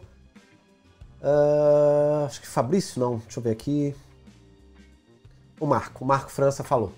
Uh, Marco, eu acho o seguinte: eu acho que tem uma questão aí, não é só de público ou privado, enfim, é a questão do perfil do cliente, né? Para quem você trabalha ou para quem a sua empresa trabalha. Uh, e a construção tem as suas particularidades, Hoje eu trabalho com empresas de outros setores cada vez mais, inclusive pequenas e médias aí. É, é aí que a gente vê onde realmente dói, porque o cara não tem recurso para fazer nada, ou tem bem menos recurso do que as grandes e está né, tirando leite de pedra realmente ali. Eu acho que são, é, tem uma questão na construção, né, em particular, de interesse próprio da construtora no rumo que ela quer levar o mercado dela em relação aos resultados que ela quer atingir. Interesse no sentido mais amplo da palavra, interesse do CEO ou da, do, da, do grupo de diretores ou para empresas maiores aí do conselho, enfim, do quanto ela quer ver a perspectiva financeira, econômica, enfim, da empresa num patamar de X anos para frente, e o quanto aquelas pessoas que estão ali orientando a empresa querem levar aquilo, porque vai custar tempo, vai custar dinheiro, vai custar, né, o que o Cloivaldo já falou aí, vai doer na pele, do CEO para baixo mais ainda, porque trabalho pra caramba para fazer essa coisa acontecer, então tem que ter um interesse. Segundo ponto, é uma coisa que a minha esposa, que é coach, ela fala muito, e, e uma frase que para mim é muito válida, não sei se é dela, mas ela sempre falou, pra, foi da boca dela que eu vi pela primeira vez. Você não muda aquilo que você não conhece. Tem que ter conhecimento, as pessoas têm que ter. Né, por isso que a gente batalha para trazer conteúdo é, para o mercado, porque a gente só vai mudar do CEO, né, do dono de uma empresa ou de um sócio, enfim, de um, quem quer que seja, até lá o, o operador e tal, com conhecimento. E a gente que está aqui nessa base, que tem um pouco desse conhecimento, a gente tem que contribuir para fazer essa roda girar, né, porque ela é pesada, o Clorival falou. Ele que estava num posto super alto, o quão difícil foi, né, mexer os pauzinhos aí, tenho certeza que dezenas e dezenas de vezes desde o conselho até um gerente de obra, um engenheiro, enfim, para fazer a coisa acontecer. E o terceiro ponto que eu falaria é que as empresas precisam, na minha opinião, é, mudar um pouco a, a, perspectiva, né? A gente ainda vê, infelizmente aqui no Brasil ainda é assim, e cada vez mais quando eu vou por uma média pequena isso ainda é mais exacerbado, a gente ainda vê o Lean Manufacturing na construção. Né? Aquele Lean lá de 15, 20 anos atrás, Cara, isso já acabou, já tem metodologias que foram criadas para a construção, formato de implementação, uma série de coisas. O Lean, eu estou até chamando o Lean atualmente, arriscando aí, não recebi nenhuma crítica ainda, mas estou chamando de Lean Construction 4.0, porque tem que acompanhar o, o, a evolução das coisas, né? Tem muita tecnologia, tem muita coisa que já foi desenvolvida e que a gente está aí para, é, com essas coisas que foram desenvolvidas, a gente já participou de algumas coisas, outras vieram de fora, outras as próprias construtoras desenvolveram. É aí que a gente tem que fazer a coisa acontecer. Conhecimento tem que ter a mão de quem está puxando e a gente que vai fazer a coisa acontecer, a gente tem que estar tá com esse conhecimento à flor da pele. Tem que ler muito, tem que praticar muito, tem que errar pra caramba, porque é fazendo o Lean não tem outra receita, é fazendo que fazendo errando, né? Muita coisa a gente fica se baseando. Por que, que eu falo do Lean Construction, do Lean Manufacturing antigo? Porque a gente vai numa empresa, você vê um quadrinho, aí acha que copiar o quadro da Andrade para mim vai funcionar. Aí eu vejo uma planilhinha, acho que copiar a planilhinha da Andrade vai funcionar. Aí eu vejo não sei o que da Andrade, aí eu vejo a Andrade apresentando num congresso, acho que copiar não sei o que da Andrade vai funcionar. É muito mais do que isso. Então, se a gente se pegar a base do Lean, que são as ferramentas e as metodologias apenas, né, do 5S, a padronização, a estabilização do processo, os pilares, aquela porra toda que o Lean fala, que eu sou super fã, estudo até hoje, leio muito, todos os livros que eu posso comprar eu compro, mas isso é uma parte pequena da, do todo. E aí, na construção, esse pequeno do todo muda cada vez mais, porque a, ela também tem as suas particularidades. Mas eu não quero é, adentrar muito nisso aqui, não. O é, que, que, eu, que, que eu queria te perguntar, Clorivaldo? Tem gente perguntando outras coisas aqui. A Alessandra falou, muito obrigada, beleza. Vamos aplicar nos processos aqui. Uh, o Wildo também está falando aqui. Clorivaldo, esse é fera, ali na veia, exemplo de liderança. Show de bola, deixa eu jogar o Wildo na tela aqui. Gente, se tiver pergunta aí, vamos lá que a gente. Deixa eu ver com quanto tempo a gente já está aqui. Nossa, uma hora e seis minutos. Tomar mais um tempinho do precioso tempo aqui. Deixa, do... deixa eu só fazer um parênteses, Evandro. Manda ver. Complementar o que você falou aí, eu acho que é importante. O centro de tudo são as pessoas, sabe? Eu, enquanto você estava falando aí e tal, eu vendo essas pessoas que estão assistindo, e a maioria delas eu, trabalhando com a gente, eu conheço. É, é, é, esses profissionais, essas pessoas que estão aí, elas podem ir para qualquer lugar, elas vão fazer isso acontecer, porque elas, elas têm o conhecimento e aprenderam a, estilo de liderança diferente, etc. Essas pessoas são top em qualquer lugar que elas estejam, o que elas estiverem fazendo. Então, isso é Lean, isso é ser Lean. Então, assim, que ferramenta que é? Eu não sei, eu vou fazer aqui, vou fazer. Chama as pessoas envolvidas, sabe? Aquele procedimento Lean vai acontecer em qualquer lugar, em todos os momentos. Sim. É isso que eu acho que, que é o bonito da história toda, entendeu? Onde você não se preocupa mais com as ferramentas, mas é, você é tem aquilo dentro de você. Então, é, a maioria dessas pessoas que estão assistindo aí participaram dos, dos treinamentos de consultor Lean e tudo que nós fizemos. Então, assim, são pessoas que têm o conhecimento, gostam do assunto e trabalham usando a, a filosofia Lean. Sabe? Isso, isso é que eu acho que é o, o final da linha, é você ter este, este padrão de conhecimento e trabalho. Né? Porque enquanto a gente ficar é, pensando que se eu não tiver uma ferramenta ali, eu não vou desempenhar meu trabalho, é, qual ferramenta que eu vou usar, sabe? Porque quando você tem o conhecimento, você é um líder lean, em qualquer lugar que você chega, você vai fazer aquilo acontecer de uma maneira, de uma forma lean, sabe? Então, é, é isso que deveria ser o, o top aí da, da, da do objetivo o pensamento maior né? de, cada de cada profissional é ser um líder lean. Pronto, sabe? É, que aí ele vai saber fazer a coisa certa no momento certo e puxar Exatamente, as pessoas. Vai envolver as pessoas certas no é. momento certo, vai, vai cobrar de uma forma adequada, vai é, reconhecer de uma forma adequada, vai fazer as reuniões adequadamente. Aquelas reuniões de, de quatro horas vão acabar, de seis horas vão acabar, vai passar a ter reuniões objetivas, sabe? É, é, coisas óbvias. É, é muda tanto, é tanta coisa que, bacana que acontece, que as pessoas depois passam a fazer isso e achar que isso não, não esquece que tem o valor que tem, entendeu? Sim. Mas é muito é, muita coisa, cara, sabe? Então, eu acho que deveríamos mudar uma cultura da empresa, quer dizer, esses CEOs deveriam estar dispostos a mudar uma cultura de empresa para que ela funcione de uma forma muito melhor. Esse é um grande objetivo que eu acho, desse, deveria ser desses CEOs, né? De fazer tudo na melhor qualidade e com menos, fazer mais com menos, entregando um produto muito melhor para os seus clientes. Sabe? Isso não é pouco, não, isso é muito. Isso é muito. Então, o, o França, se o seu cliente não enxerga valor é, em você entregar um produto melhor para ele, no, no, melhor qualidade, menor tempo, menor custo, então é porque esse cliente não tá, tá num oceano tão azul aí que está perdido, né? Difícil hoje em dia, né? O Mauro perguntou aqui, só para a gente mudar um pouquinho de papo ganso aqui, como diria lá nas nossas Minas Gerais. Ok. Uh, Clorival, na sua opinião, qual a perspectiva da construção para os próximos anos? O que, que você Rapaz, bola de cristal, eu, eu não, não aprendi é, com essa você, filosofia Se, se você tiver uma aí, me fala para que lado que é onde eu tenho que bater aqui que eu vou, viu? Principalmente agora que eu estou um pouco afastado, gente, da, da, do setor, né? Eu estou um ano, um ano e pouquinho afastado do setor. Tenho acompanhado, tenho lido, tenho gosto de tudo e tudo, mas eu tenho dúvidas, viu? De como a gente vai, vai sair de tudo isso que a gente está fazendo aí. Mas, na essência, vamos ter que continuar construindo, né? Infraestruturas, enfim. Pode mudar a maneira de fazer algumas coisas, mas as necessidades continuarão, a menos que é, reduza bastante aí a, a economia, mas eu não acredito nisso. Eu acho que vai continuar. Então, eu sempre sou um otimista nato. Eu acho que essas mudanças virão para melhor, né? E, de novo, quem se preparar para essas mudanças que virão aí, vão estar mais é, dentro do mercado lá na frente.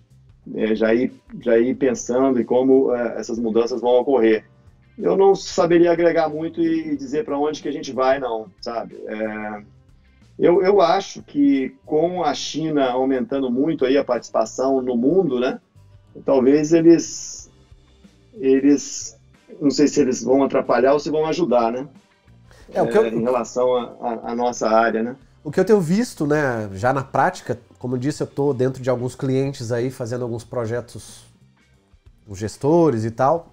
É, muito capital de fora vai ser necessário aqui, então já tem muita negociação sendo feita para grandes obras de dinheiro vindo de fora. China é um deles, porque né, tem, eles têm muito interesse, já tinham e agora vão ter mais ainda, e é um país que gosta do Brasil no sentido de investimento, então tem muito aporte de capital vindo para cá. É, Estados Unidos e Europa também, em alguns países, estão fazendo parcerias boas aí. O futuro de certas obras, de certos mercados, obviamente, quem sou eu para falar? Nem se eu tivesse varinha de, de varinha mágica, acho que eu erraria. Com a varinha eu erraria. É, mas tem muita coisa já acontecendo e eu acho que o mercado ele vai mudar de uma forma tão drástica, né? Já está mudando quem está nos vendo e vai nos ver depois aí no YouTube assistindo novamente esse vídeo, já deve estar tá passando em si por diversas mudanças. As construtoras vão ter que mudar o jeito de, de, de fazer várias coisas, né? não tô, se eu fosse, acho que precisaria mais umas 10 lives dessa de uma hora para poder falar de, de, cada um dos temas, né? Formato de gerir as pessoas, o, o modelo de valorização do colaborador, se o cara fica parcial durante um período do projeto, até isso a gente está fazendo. Estou fazendo um projeto com, com um cliente que a gente está estudando agora é, como é que começa a mobilizar uma obra de uma forma diferente. Por quê? Porque nesse retorno aí das obras tem muita empresa que está com dúvida se vai ter aquele mesmo modelo de mobilização de obra, que a gente chama né, de, de ramp-up aí, com as metodologias que a gente usava, estratégia de operações, Lean Project Design, para você desenhar um projeto Lean de implementação dele desde o início da forma como a gente fazia antes. E tem muita empresa que já está vendo que não vai ser, porque é melhor deixar X pessoas, porque fica mais barato em casa. Enfim, tem N modelos. Acho que muita coisa vai acontecer nesse sentido, né? E as pessoas precisam estar preparadas. De novo, conhecimento e saber que estar preparado, né? Que a gente fala sempre, né? Nós consultores, né? acho que é chover no molhado falar para essa galera aqui, mas tá preparado para mudança, que é um dos pilares aí da excelência operacional, né? Você está Ô, preparado para. Tá, tá, tá, me vindo aqui a, a memória. Uma, uma coisa que é o seguinte: eu acho que até talvez essa pandemia vai acelerar esse processo. Com certeza. É essa evolução na área de engenharia, essa evolução mais da, da de você pré-aprontar as coisas, né? É, Sim. Você. É, essa pré-fabricação que já está aí, mas eu estou pensando mais na área de projetos, na área do BIM, do, que a gente Sim. começou lá na Andrade também a desenvolver o BIM e tudo.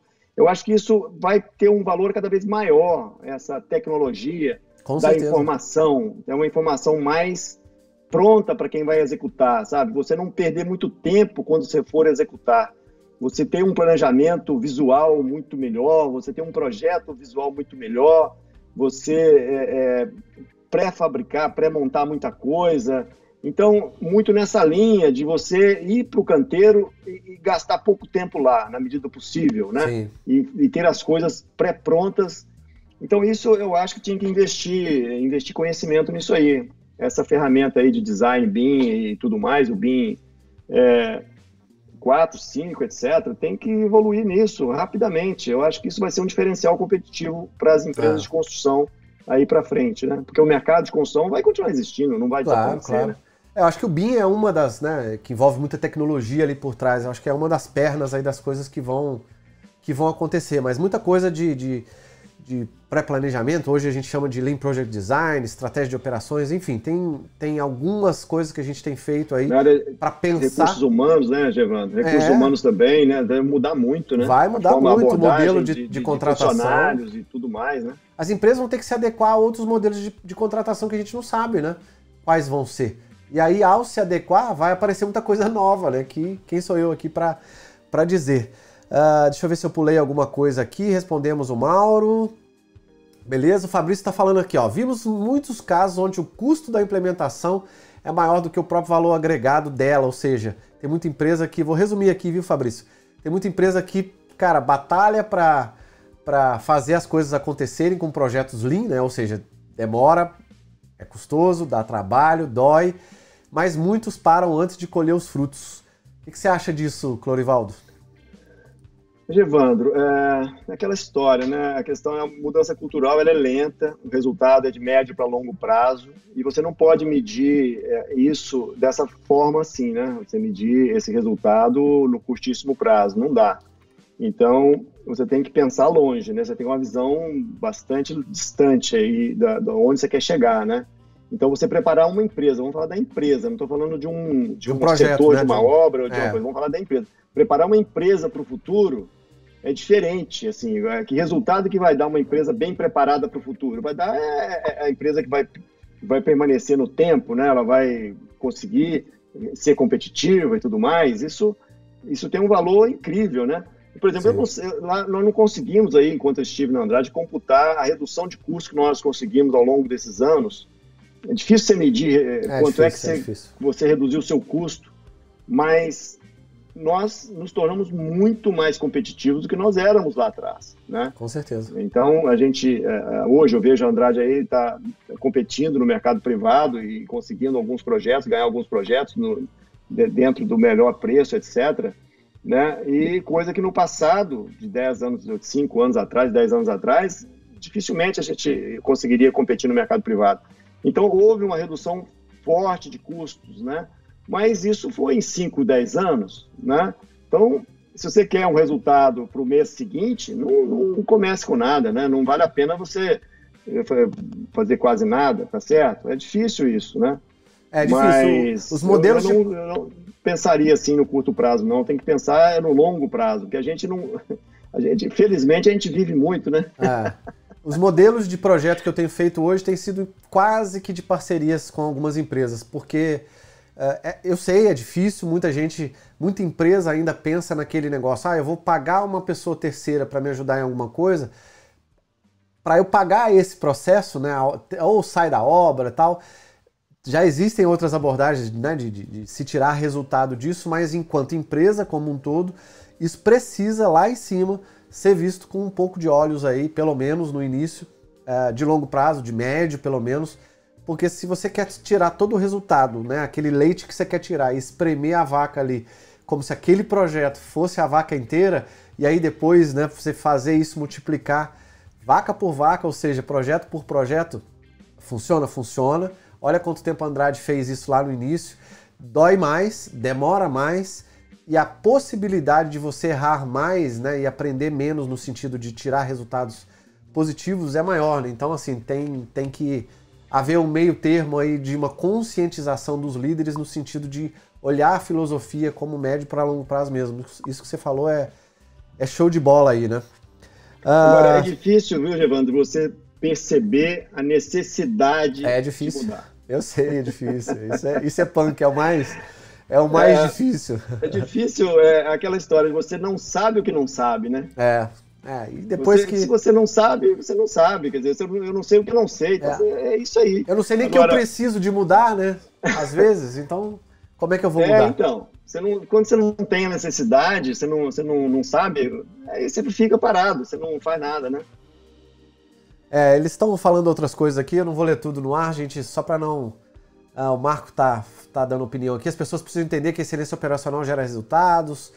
A AG, ao ter vários ganhos aí de lotes de leilões de linha de transmissão, sabe desse potencial. Aí tá falando aqui, se o Clorivaldo puder contar um pouco dessa grande experiência a todos, seria muito legal, um verdadeiro caso de sucesso. Uh, leilões de linha de transmissão, acho que é isso, né, que ele quis dizer aqui, não sei. Não queria falar nada tão específico assim, mas acho que a Andrade teve a possibilidade, está tendo até hoje, né, de, de, de, aumentar o rol de tipos de, de produtos né, e serviços diferentes aí para clientes diferentes, justamente por conta disso que você acabou de falar, né, pela, não, pela postura eu, eu enquanto que, empresa. Evandro, né? eu acho que vale a pena, sem, sem entrar em detalhes, né, eu acho que vale a pena a gente comentar aqui o que, que levou esse trabalho inicial que a gente começou é, na mudança cultural para excelência operacional, que é a filosofia ali, no final de tudo, né? Onde é, o que, que levou a isso? Levou a gente hoje a ter dentro da. Eu falo a gente como se eu estivesse na Andrade, mas eu não estou mais lá, não, tá, gente? É, levou a Andrade a ter uma, uma célula, vamos dizer assim, um, um, um, um embrião de inovação lá dentro da empresa, né? De falar sobre inovação, falar sobre é, trazer coisas novas, né? E criar coisas novas. Então, quando falou-se da linha de transmissão, me lembrei que foi nesse projeto de linha de transmissão que a gente começou com essa visão de dar mais um passinho, que é uma inovação aberta. Aí criou-se uma área específica aí no escritório para tratar desse assunto de inovação aberta, que foi uma, uma a, a Vetor né? Que foi criada a Vetor AG com essa visão, começando lá nas linhas de transmissão, trazendo startups que tivesse algo a acrescentar no nosso, no nosso dia a dia de construção para as linhas de transmissão. E até enquanto eu estava é, lá acompanhando, é, nós tínhamos tido algumas, foram sete ou oito startups que trouxeram realmente uma maneira de pensar diferente, processos diferentes, tecnologias diferentes, que, que agregou valor para a gente. Então, dentro, olha só como é que a coisa desdobra. Então, quando a pessoa fala assim, ah, mas o que, que eu vou ganhar com isso? Né? Então, assim, é muito pequeno essa, essa pergunta, né? É muito pequeno, assim, essa visão. É, quando você entende a figura toda, você fala, cara, eu posso ganhar o mundo com isso, né? Eu posso desdobrar isso se as pessoas dentro da empresa tiverem essa visão de, de, de trabalhar compartilhando ideias, de trazer inovação, etc. Isso pode tomar uma dimensão exponencial, né? Ah, então, é, é questão de como que você vê o copo meio cheio meio vazio e tal. Então, é, essas, esse, esse, todo esse trabalho de excelência operacional nos trouxe esses projetos, essas, esses trabalhos aí que tá, estão servindo de, um, de, um, de uma escada para você evoluir na inovação. Quer dizer, é um subproduto aí dessa filosofia, dessa cultura de excelência operacional, né? Então, eu não sei se o França quis dizer um pouco nessa linha, mas... Acho que sim, acho que é mais nesse... É, e foram outros projetos também, das, das termoelétricas e tal, foi muito é, feito já desde a, lá na proposta, usando esse, o Last Planning System para fazer os planejamentos, a gente já reduziu os custos e aumentando a produtividade desde a, a fase de, de, de, proposta. Por isso que ganhou, senão não teria ganho, né? Então, assim, é um modo contínuo, né? Show de bola. Clorivaldo, só para a gente não estender muito, estamos quase chegando ao final aqui. É, olhando esse período aí, vamos só de novo mudar um pouquinho de pato para ganso, né?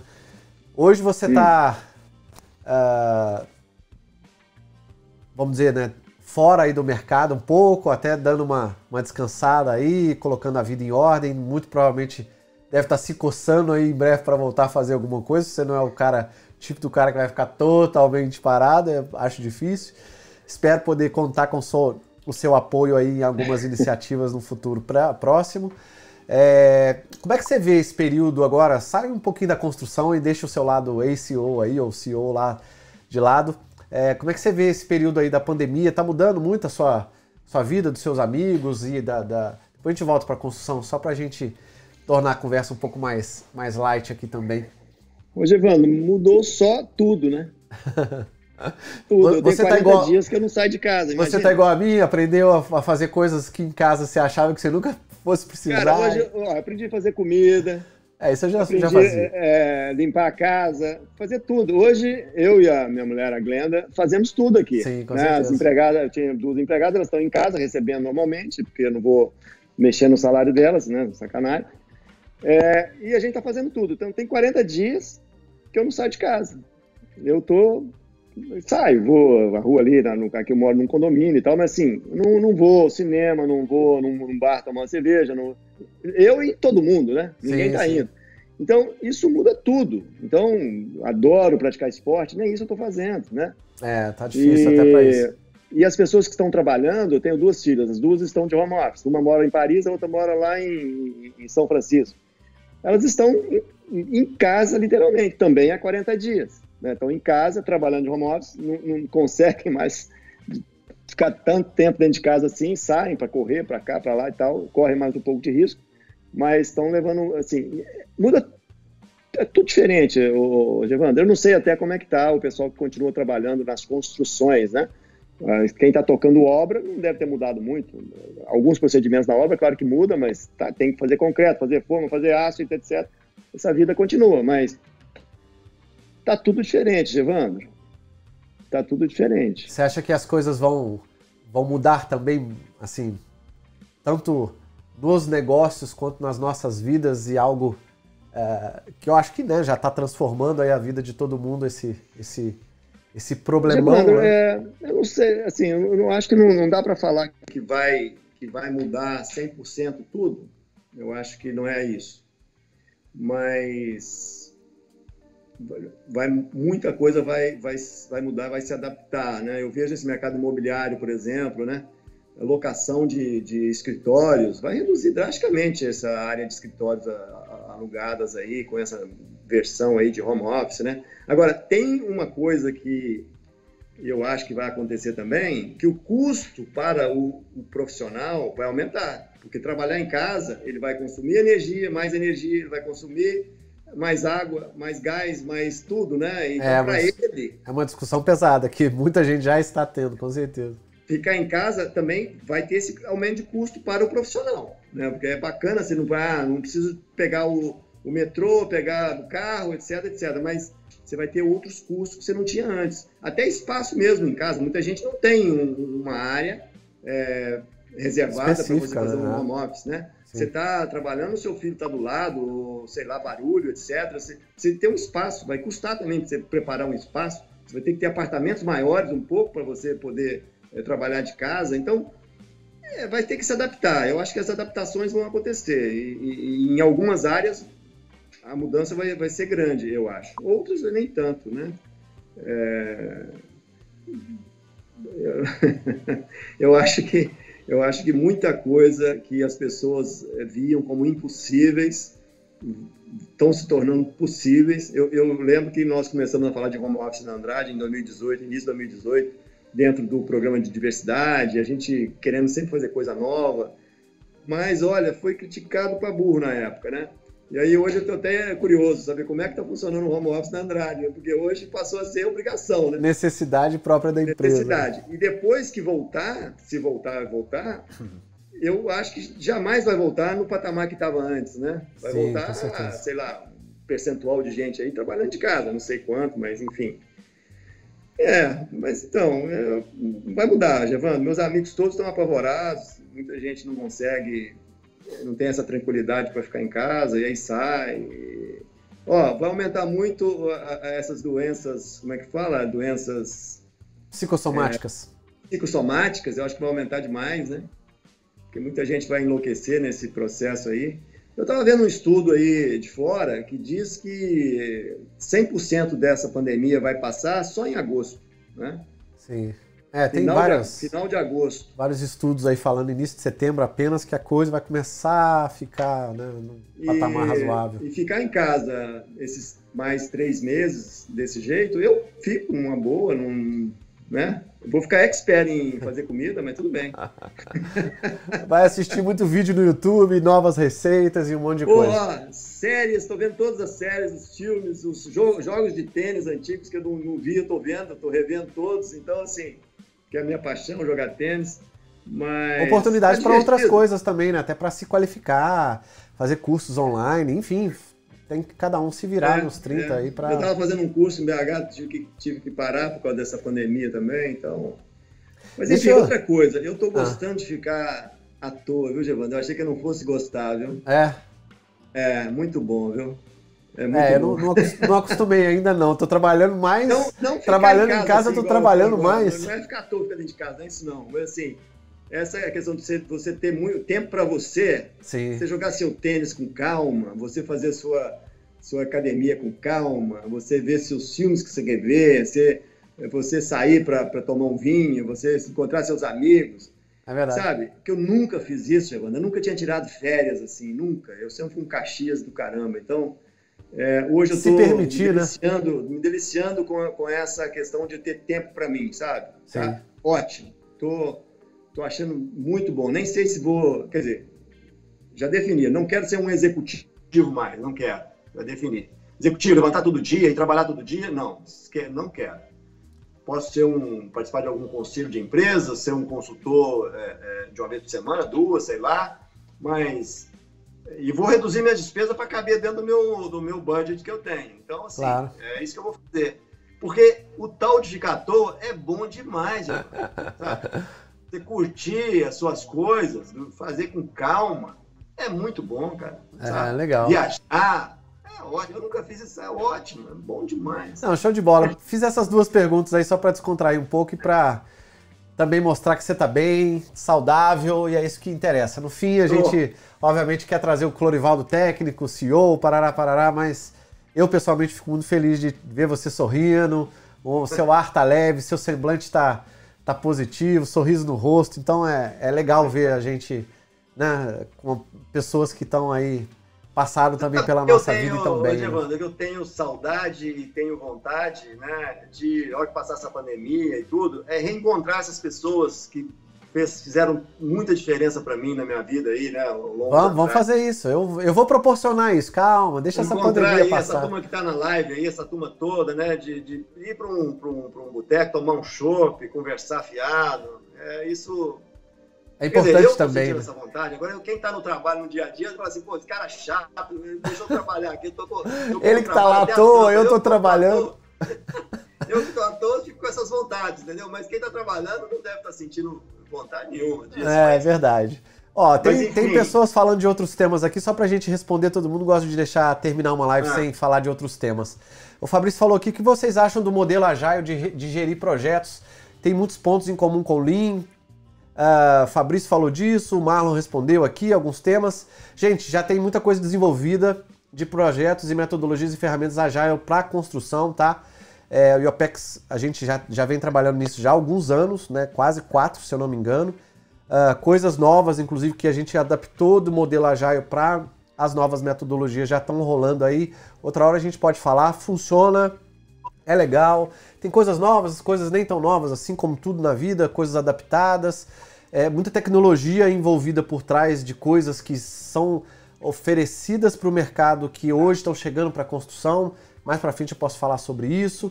Uh, então, funciona assim, é super legal. Eu acho que cada vez mais é, esses mecanismos, essas filosofias de trabalho, sejam lá o nome que a gente queira usar aí, os modelos de gestão, enfim, vão estar cada vez mais acoplados de forma a fazer com que as pessoas sejam mais rápidas, mais ágeis no sentido, né, agile mesmo, nesse sentido de atingir os resultados é, da forma correta que o cliente, né, é, é ele para ele que a gente vai fazer, é ele que paga a conta no final das contas. Então, não adianta a gente pensar para dentro em algo, seja lá a linha, agile, o que for, é, se a gente não estiver tá, correspondendo com aquilo que a gente né, deseja, os porquês do propósito da gente estar tá fazendo isso e entregando o resultado que o cliente quer na ponta. Porque por mais que a gente queira ser lean, né, eu tenho passado isso atualmente com outro cliente, posso falar de carteirinha. Por mais que o cliente queira ser lean, tenha dinheiro, tenha o time, queira implementar, o mercado dele não compra tudo que ele quer. Então aquilo que ele quer fazer fica caro. Então é preferível às vezes a gente até tirar o pé do acelerador, não em termos de conhecimento, né?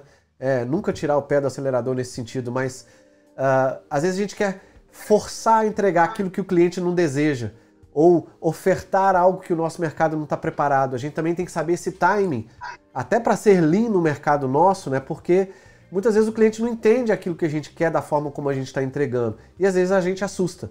Então precisamos é, ser lean no, no sentido também de corresponder nessa cadeia de valor com o cliente para saber entregar o que ele deseja, porque senão a gente vai querer vender gato por lebre ou então algo tão grande que o cliente vai querer algo menor. E aí o preço, né, o custo disso fica muito pesado. A uh, Deisa tá falando aqui, com certeza, Clori, vamos encontrar com toda certeza. Ó, o pessoal já tá querendo tomar uma contigo aí. Daqui a pouco já sai um happy hour, é legal aí. Pessoal, não sei se vocês têm mais perguntas. Uma hora e meia que a gente já tá aqui. Clorivaldo, acho que podemos quase que encerrar mais uma vez. Uh, muito obrigado pelo seu precioso tempo. Sei que agora né, você, tem, você tem mais tempo, obviamente, mas com certeza é precioso. Foi difícil agendar com você, a gente já vem se falando há quase dois, dois meses e pouquinho aí. Uh, quero te convidar outras vezes para outras lives ou eventos que a gente fizer que você possa contribuir tanto com a sua pessoa, né, essa, esse cara maravilhoso aí que você é, quanto tecnicamente com o seu conhecimento, que eu acho que são pessoas como você que lideraram empresas, lideraram pessoas, lideraram projetos, é que podem cada vez mais contribuir. Então pode ter certeza que eu vou te encher muito o saco para que você seja é, influenciador né, do Lean no Brasil e de outras empresas e possa comunizar um pouco do seu, do seu conhecimento aí, da sua maestria com a gente, ok? Será um prazer, Gevan, dentro da minha humilde é, é, conhecimento aqui, a gente pode ir conversando sim, sem problema. Show de bola. Fabrício está falando, doutor Clorivaldo, tudo tem seu tempo. Acho que depois de uma trajetória sua no mercado no Brasil, ele foi feito da melhor possível. Ou seja, saiba que seria interessante rever seu amigo ou seus amigos. Parabéns. O Wilton também, Fabrício, muito bom rever o mestre. Acho que é um lá do PCM, né? Que nós, nós trabalhamos juntos lá no PCM, não é isso? É, é isso. Ele falou do PCM lá em cima, na outra pergunta. Parabéns, Evandro. Obrigado, Wildo. Gente, fiquem com Deus. Agradeço eu queria, todo mundo que Evandro, participou. queria deixar um abraço especial para todos que claro. estão assistindo aí, né? E são pessoas muito caras para mim aí, muito queridas, todos eles. É, e de novo, né, ninguém faz nada sozinho, é um time que faz, esse time aí que fez o que foi feito, né? E claro, não está todo mundo aí na live, tem muita gente fora também que participou. Óbvio, claro. Mas assim, eu tenho só que agradecer esse timaço que nós formamos lá na G na época. E eu sou muito grato por isso. E vocês moram aqui no meu coração, todos vocês, tá? Show de bola. Ildo, obrigado. Todo mundo que permaneceu do início ao fim. Acho que foi legal a gente poder comunizar várias coisas, trazer um pouquinho do conhecimento desse cara aí que é incrível e que a gente vai conseguir é, propagar aí com certeza para muito mais pessoas. A live, como eu disse, vai ficar no canal do YouTube. Peço a vocês que não se inscreveram ainda no canal, clique lá no sininho, se inscrevam, compartilhe esses vídeos. Esse canal do YouTube estava junto, né? Os vídeos eu, eu estava junto, que eu tenho um outro canal, Evandro Barros Mentoria Consultiva, que é mais voltado para outros projetos que eu faço em outras áreas. Resolvi fazer esse canal especificamente para gente, para nós da área da construção aí, para trazermos exemplos práticos, conteúdos. Toda semana tem um conteúdo novo lá, no mínimo de dois a três vídeos por semana. Então se inscrevam lá no canal, participem, compartilhem esse canal com outras pessoas. Mandem perguntas, mandem conteúdos. Se quiserem fazer live comigo ou algum participar de algum vídeo, tô aí. A tecnologia agora tá fácil, não tem desculpa mais ah, o cara tá lá, eu tô aqui. Não. Acabou a distância agora. Temos tecnologia suficiente para trazer conhecimento de todo quanto é lugar do mundo. Essa semana, inclusive, vou fazer na quarta-feira uma lá no meu outro canal uma live com um cara lá do Japão, um ex-consultor do IOPEX que virou consultor lá no Japão e ele vai trazer os olhos lá dele como consultor, abrir um negócio lá, o que, que ele está passando, tá muito legal. Então só para falar para vocês que todos que estão aqui, que vão ver esse vídeo depois, se quiserem mandar perguntas ou participar comigo de alguma coisa nesse canal aqui, fiquem à vontade. Em breve vocês vão ver algumas novidades aí no mercado de Lean Construction e Excelência Operacional. Não trouxe ainda essas novidades porque estamos obviamente parados, mas tá aqui tudo planejadinho aí. Gente, fiquem com Deus. Obrigado a todos que Uh, mais uma vez aí, meu obrigado a todos que participaram da live. Tem muitos agradecimentos aqui. Muito bom, parabéns, Evandro. Parabéns, Clorivaldo, excelente.